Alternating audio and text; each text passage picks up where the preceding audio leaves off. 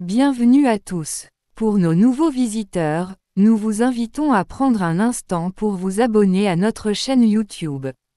Votre soutien est inestimable, et il nous motive à continuer à créer du contenu de haute qualité pour vous.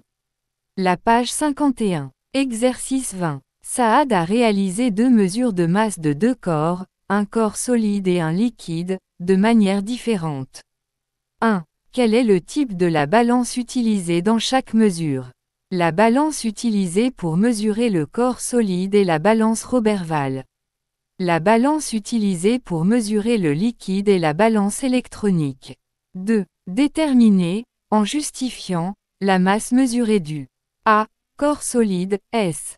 La balance Roberval se trouve dans un état d'équilibre, cela signifie que la masse du corps solide qui se trouve sur le plateau à gauche, égale à la somme des masses marquées qui existent sur le plateau à droite.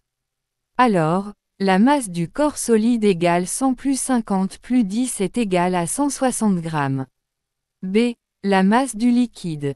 La balance électronique affiche, au début, la masse du récipient qui égale à 160 grammes. Après l'ajout du liquide, la balance électronique affiche la masse de l'ensemble qui égale à 270 grammes. Alors, la masse du liquide égale la masse de l'ensemble moins la masse du récipient.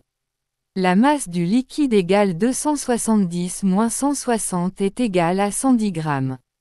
2. Comment procédera Saad pour effectuer la mesure du liquide en utilisant l'instrument de mesure de la masse du corps solide, S L'instrument de mesure de la masse du corps solide, S, est la balance Roberval. Alors pour mesurer la masse du liquide, il faut suivre ces étapes.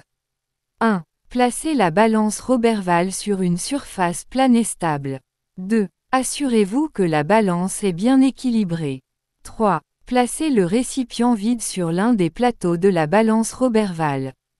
4. Sur l'autre plateau, Placez les masses marquées d'une façon décroissante pour équilibrer la balance et que les deux plateaux soient au même niveau. 5. Notez la mesure de la masse du récipient. 6. Versez lentement le liquide dans le récipient sur le plateau de la balance. 7. La balance se déséquilibrera en raison de la masse du liquide. 8. Placez les masses marquées d'une façon décroissante pour équilibrer la balance et que les deux plateaux soient de nouveau au même niveau.